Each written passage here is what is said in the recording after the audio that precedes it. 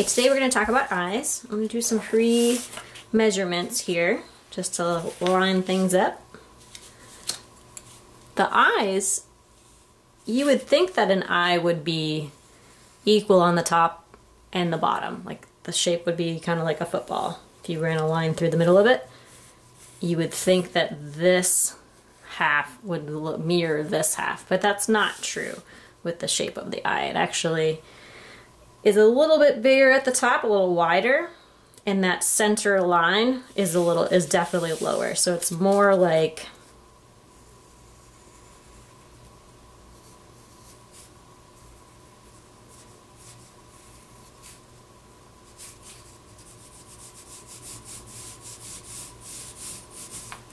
It's more like this than it is that.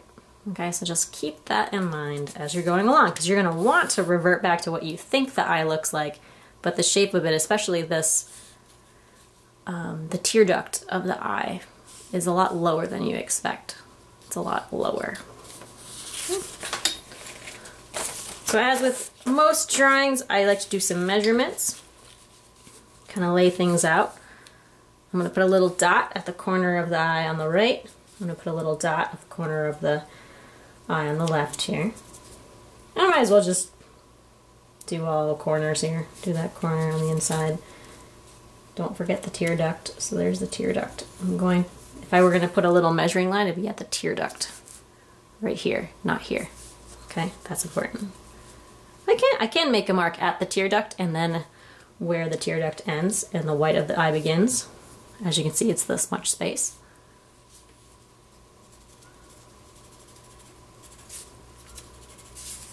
So those are my marks. I'm going to bring them over here. And I put little dots, my reference dots. Okay.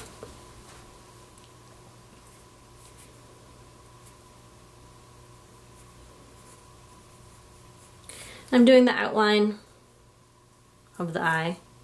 Ignore this part of the eye, meaning start the outline a little farther up than you think. It should start where you see the bottom of the eye, unless the eye is really wide open. Let me explain that a little bit better.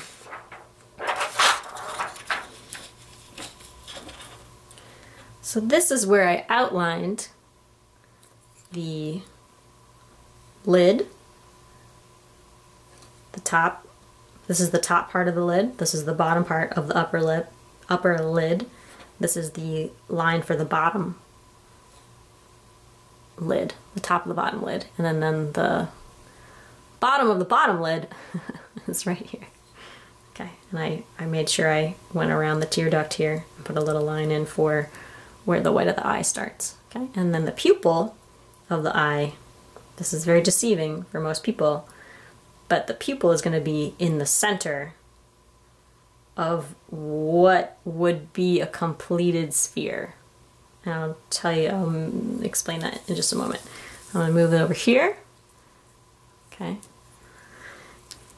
You need to treat the shape of this, of the eyeball, the iris, of the iris. You want to treat that as a circle, a complete circle. So unless the eye is really wide open, which doesn't happen with most people, you can't see the white above the iris in the top unless someone's scared or uh, they just are like that. Um, so this line would continue to make a sphere all the way around. So the sphere of the iris if you were, it, it goes underneath the upper lid. It's tucked underneath the upper lid. If you were to continue drawing the sphere as if the lid were not there, it would be like that. Okay, so you need to keep that in mind, that when you're drawing the eyeball, the iris, it's a perfect sphere. It just gets tucked underneath the upper lid. Okay, and then this pupil, your pupil should be in the center of that circle, this completed circle of the iris, meaning the red line and then the black line. This should be in the center. If I can do, if you take away the red, it would it would look like this black dot of the pupil is not quite in the center because there's less space here than there is there. So I made my little marks and I'm gonna go ahead and put in the shape of the eyes. It will end up looking like this, the outline.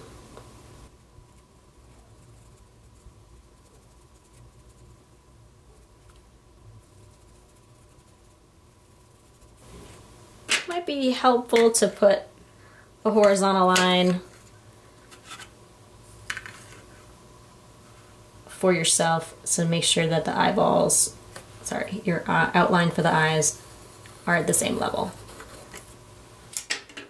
So just draw a nice light line for yourself. Mine's a little darker just so you guys can see it. Because I felt like I was going a little too high with this one, so then I put a reference line in. I Always put reference lines in if you're confused. You can always erase them as long as you haven't pressed too hard, of course.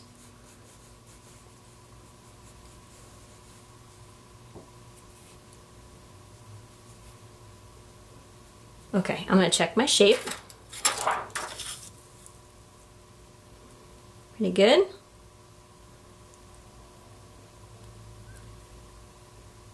A little bit more open over here. Can do this with plastic wrap at home if you don't have a clear plastic sheet for yourself. Or there's probably some sort of clear packaging that you might have that you can use some some product that has a clear like a clear box that you can cut out part of the one of the sides to make yourself a little clear sheet.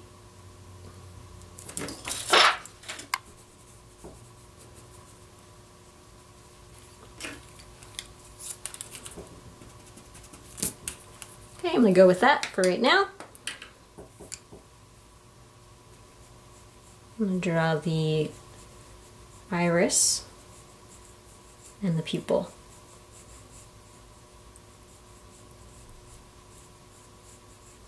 You want to make sure that your sphere for the iris, it has to be a sphere, so it can't go straight up. If your line ends up going straight up, that's wrong, because then it would be like that, okay? And our eyeballs aren't square at the top. So make sure that you curve around. It has to curve around. So this should curve back up and underneath the lid. How much that pupil, or sorry, the iris is tucked underneath that top lid is, is determined by how open the person's eyes are. Okay.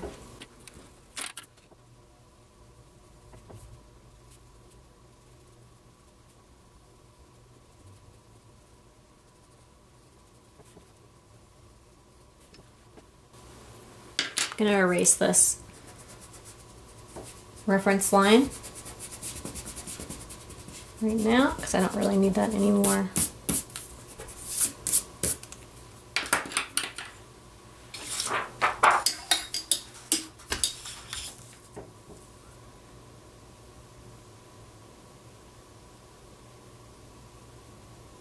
Looks pretty good. Probably can make this a little skinnier in here. Not as um, bulbous. Not as round there. And that one looks pretty good. It's just not as round right there. I normally wouldn't be using the clear plastic sheet, but I just want to show you guys what to do if you do have that tool with you somewhere at home. I do want to check some more measurements, like I want to check the size of the iris, irises, make sure they're pretty equal. This one looks like it's a little too big, so I'm just going to make that a little skinnier, make them a little bit more equal. So I don't want one iris to be bigger than the other. these are things you can fix now, and if you don't fix them now, it's a little more difficult later, especially when you're finished and you're like, oh no, like that's not, that eyeball's too big and that eyeball's too small, and what am I gonna do?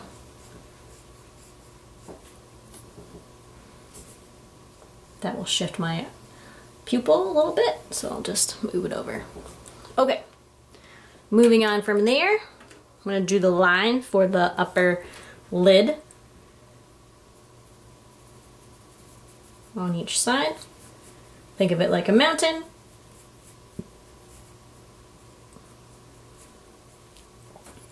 It should go, this line should go farther than the tear duct. So it should end up, it starts farther over too, it's around here. And it should end farther over. Like that. Same thing for this side course, not everybody, people, most people are not symmetrical in any regard. So if there, if there is a difference in the lids, the size of them, then you got to go with it because that's that's how they look. We're not symmetrical, which is perfectly fine. All right, so there I go. Let's see how I did. Pretty good. Not too bad. This will probably curve down a little bit more. Now I know you want to go in and press really hard for those pupils right now, but you can go in a little bit. But that shape might change for you and there might be a reflection on top of that pupil that you need to pay attention to. So if there is a reflection somewhere in the pupil, you need to outline it there's a little white spot, you want to outline the white area and then shade around it so that you don't have to go in reverse. It's going to be harder if you press, more difficult if you press really hard and then you try to erase out that white highlight.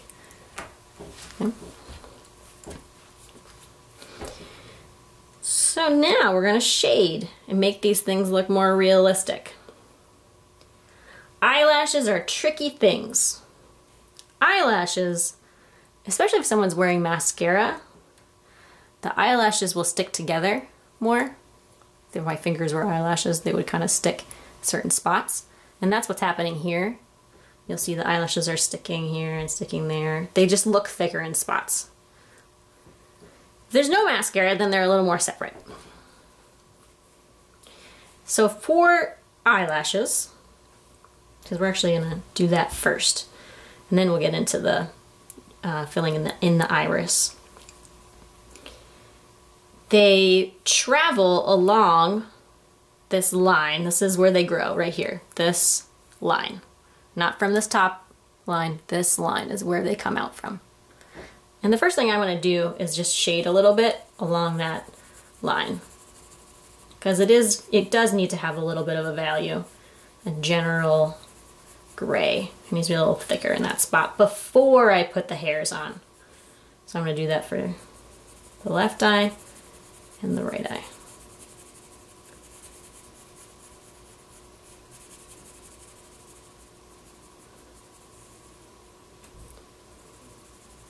I might just pressure a little harder because it is dark in that area.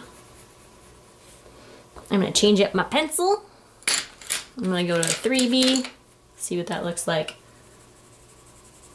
Seems like it's more what I want for value.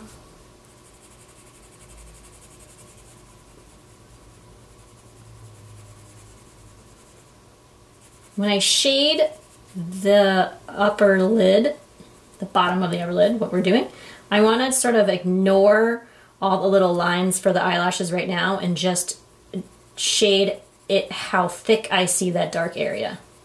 Okay?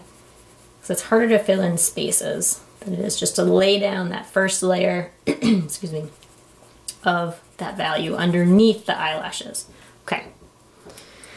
Now I'm to get to it. So the eyelashes at the corner of your eyes will fan out in this direction. They all go that way. And then as they continue along that line, as they continue, they come towards you.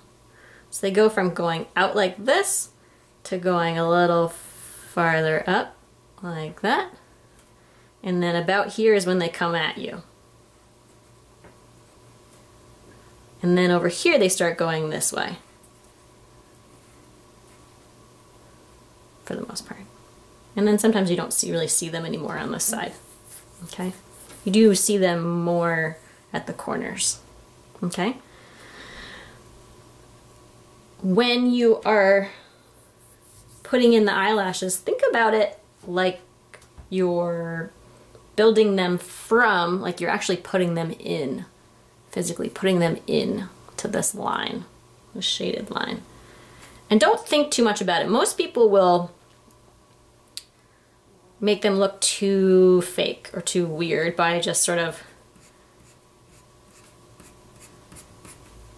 doing this and then it, all these lines have equal spaces between them and that's not natural even if you don't have any mascara on you will have some clumping of your eyelashes so they kind of there's like three eyelashes in one spot it's more like it's, it's more like this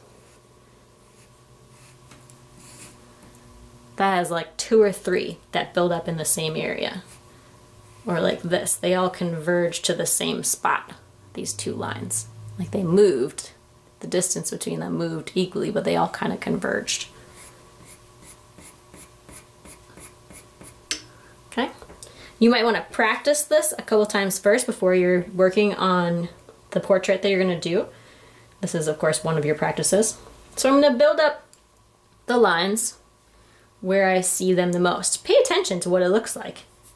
Okay. So I'm going to start putting them in, going this way. Oh, and the other thing about eyelashes is you press, put your pencil down where you think one's going to be. And then you push hard and then soft. I'm pushing hard on the spot that I'm making an eyelash. Push hard and then soft. Hard, soft. It's called feathering. So it's very, very, it's much lighter here than it is down here. And that's what you want to make sure that you do.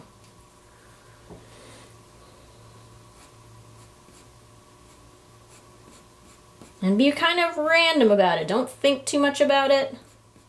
You're building them up. They get a little bit, they're longer looking here and then shorter in the middle because that's where they're coming directly at you.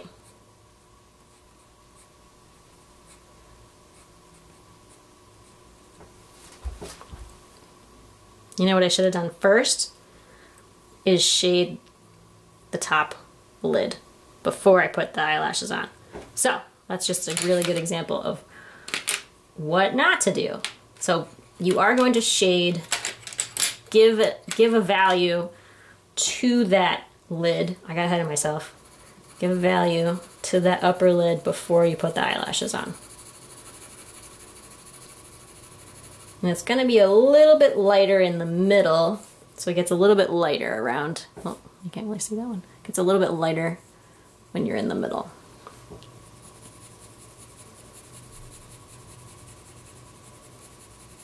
I'm going to choose an H pencil to do this.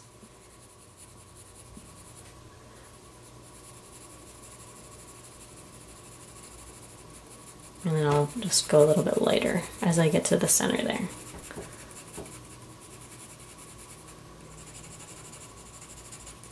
And if I went too dark, you have your kneadable eraser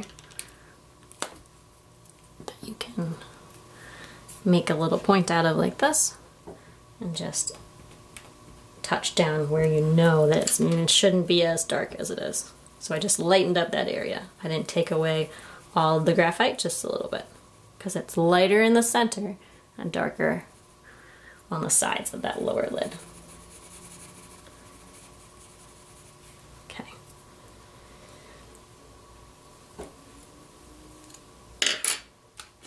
I'm gonna go back to my 3B pencil. I might choose something a little darker. Let's go 4B.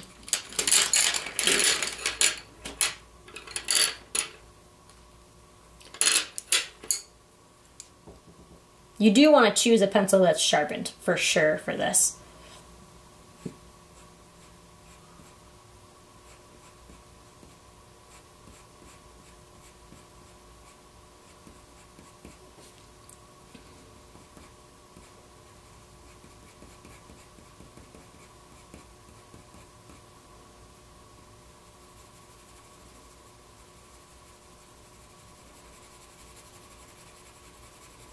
Just gonna darken up that area behind the eyelashes real quick. Just a little bit. And then I'll redefine some of the lashes. Lashes will look very strange to you after a while.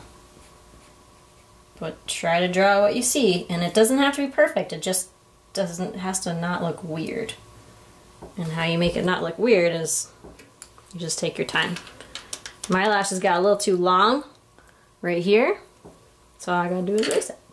I'm gonna take the 5B pencil that I have, 4B, whatever, and I will darken the iris, sorry, the pupil.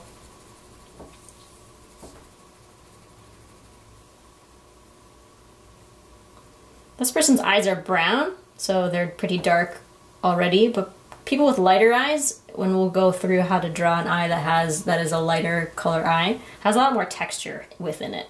And I definitely want you guys to see that video. But this is just the video of how to draw both eyes.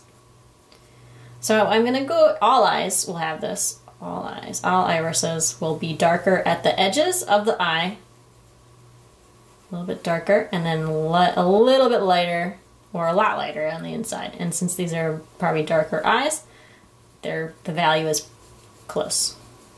The two values, the value of the outside of the sphere of the iris and inside are close, but noticeably different. So I'm just gonna stay with the shape.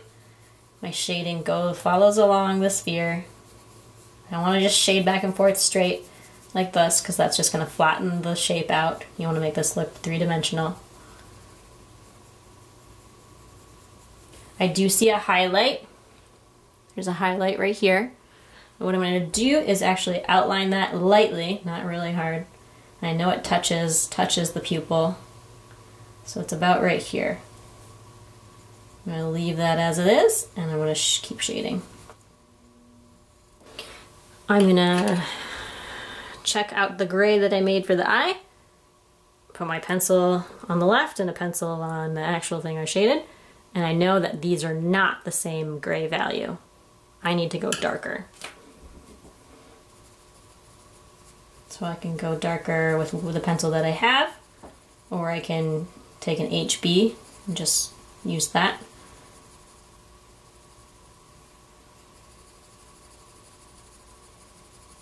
It's about layers when you're using graphite pencil. So it's not just go really hard and press hard right away. It's put it down, put your gray down with the pencil, see if that's dark enough. And if it's not, do it again. And if it's not, do it again light. And then you're adding all these light pressure filling, you're filling in with light pressure over top of another light pressure layer of your dark pencil. And what happens is that it gets darker slower, which is what you want. I'm to continue to just bump up the contrast on that outer ring. And then what I'm to do is, because all eyes will have some texture into it, it's kind of like a sun. So I have little squigglies that build up and go towards the center of the eye, or you can kind of squiggle going out. But I usually squiggle going in because it's darker. I'm pressing harder at that edge of the circle and then squiggle going in, then it's gonna look darker on the edges and then lighter as you go in. This is gonna, we're gonna go over this on another video. But for now, since these are brown eyes, then I'm just gonna take my darker pencil and make these kind of squiggles inside of here so that there is a little bit of texture within the eye.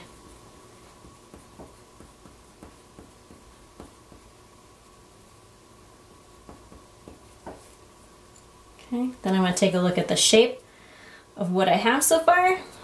And I feel as if this part bumps out a little bit too much compared to over here because I was redefining the dark line. So I'm just gonna shave off a little bit of this. Of course, that's disturbing when you're talking about eyes and shaving, but there we go. I feel like that's a little bit better. Key. Getting better, right? Now I'm gonna go to the bottom lid and I'm gonna start shading there. So, I'm gonna take, I gotta shade before, I gotta shade, put my shade, my value down before I start putting any lit, any um, eyelashes on. So I'm gonna use an H pencil and take my time while I'm shading. When you do your portraits, they're going to be smaller. They're not going to be, you're not going to draw something five times the size, a person the five, five times the size that they are. So you don't necessarily need your blender, but if you feel like you need to use it for the lighter areas, you can. Or you can just take your time and go back and forth. Go over the little white gaps that you might see. Change your pressure in certain spots to make it look even. So I'm just going to speed up this part of the video.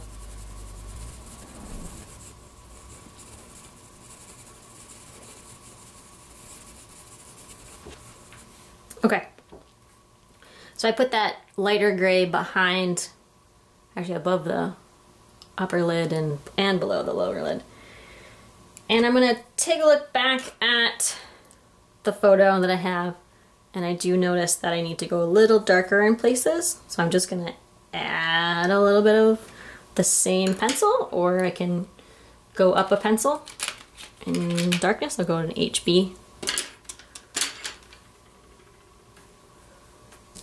And I can see that the shadowy area comes, starts about here and then continues this way.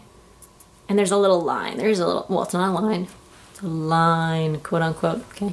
So there's a darker area spot right there and then it jumps. There's a light area and then there's a dark area. Again, darkish. So I'm gonna put that in first because uh, if I don't do that now and then I put my lashes in, then it's just harder to put the shadow back there first, or afterwards. So I made the first kind of still shadowy area, and then I'm going to jump. I'm going to skip, put another little, little, little shadow area under there. So it looks like there looks like there's some lines down there, but they're not. They're just um, different values of gray.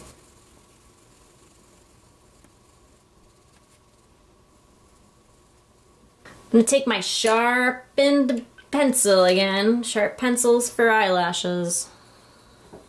Don't use dull pencils.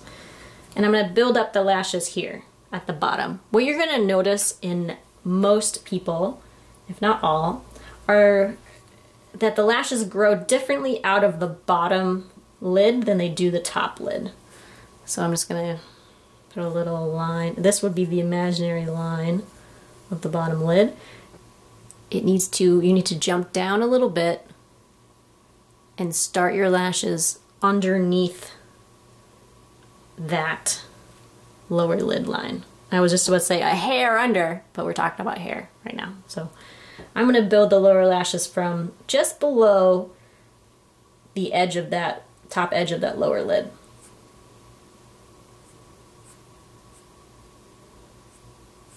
Practice eyelashes.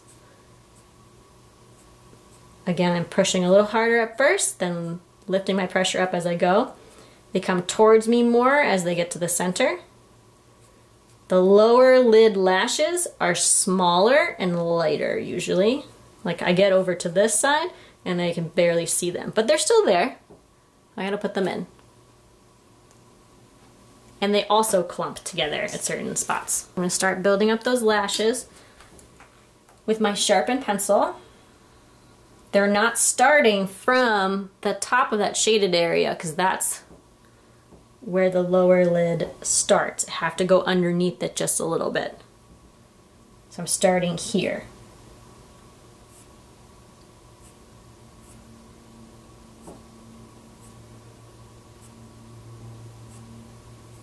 I do notice that it does get kind of darker along here and then lighter. So I'm just going to add some little dark dots as I go right in here.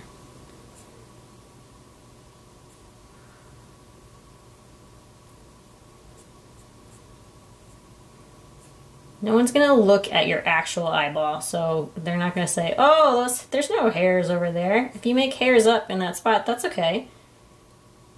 And I'm gonna go lighter as I get to the right. What I'm gonna do is actually just, I'm gonna move this, I'm gonna cut this up a little bit, or tear it, yeah. I'm gonna move the eyeball that I'm drawing over, because that's what we're focusing on. This is the eye that I'm drawing. What you'll notice is that, whoa, when you start shading everything that you've shaded so far, the white of the eye looks too white, because it's true. The, the whites of our eyes are not perfectly white. They're also kind of grayish. So I'm going to add some value with my H pencil first.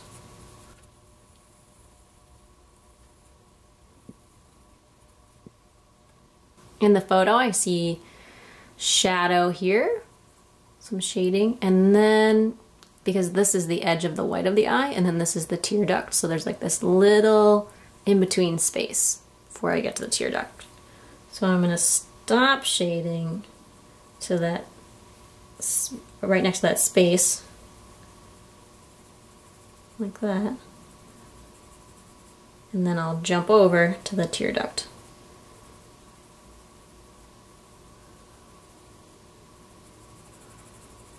You're going to notice that when you put down a certain gray value, that the space, the spot next to it now needs to bump up its value. It needs to get darker.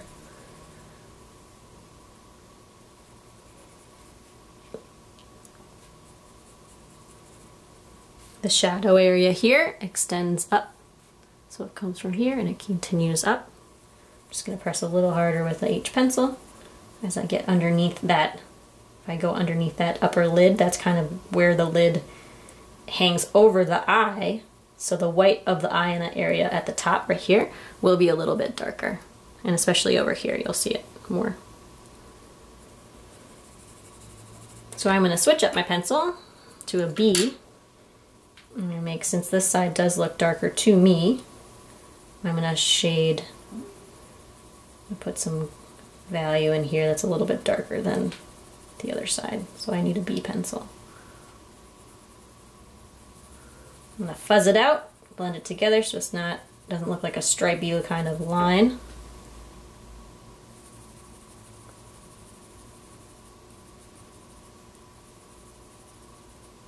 Okay.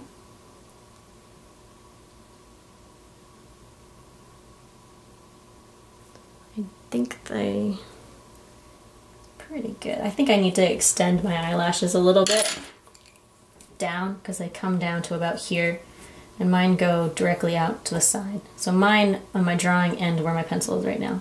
So I need to just sort of extend them.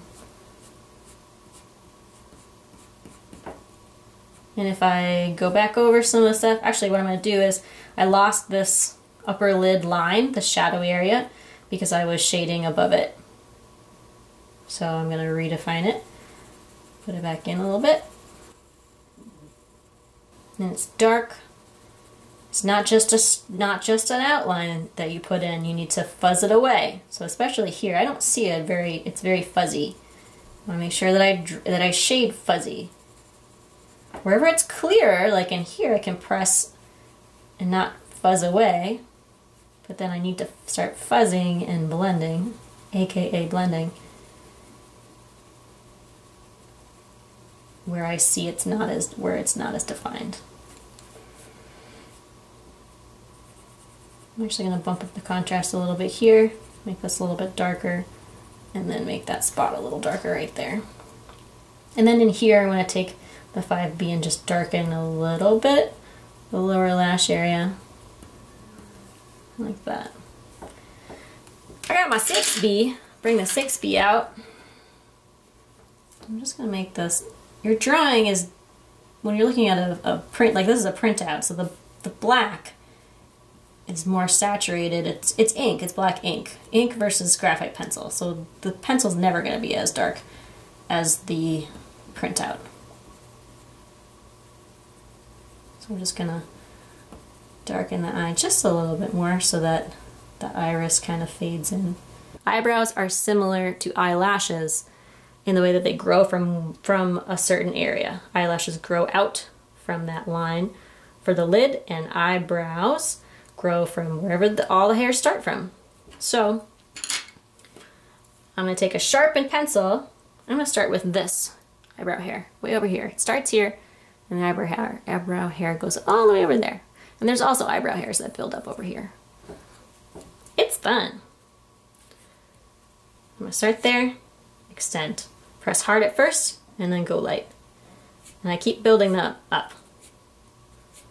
When we get to someone's hair, this is the same thing. It's almost like you're just adding hairs. You're putting the hairs on someone's head. Right now I'm putting the hair, the eyebrow hairs on them. And I start making the shape of the eyebrow. Okay. I did it the same kind of gray value. Now I'm going to go back in and press harder at certain spots and kind of jump around. And that's how I make it look a little more realistic, as if it has some darker hairs and some lighter hairs. And some random hairs. There's a random hair. And then there's hair that hairs that actually grow this way, that are lighter. And I would continue to shade. This would look definitely less weird if I had shaded underneath it first, so I'll just put some shading down so that that looks a little bit better. Like this. I'm not done with this yet, but that's the basically how you how you lay it out. Okay?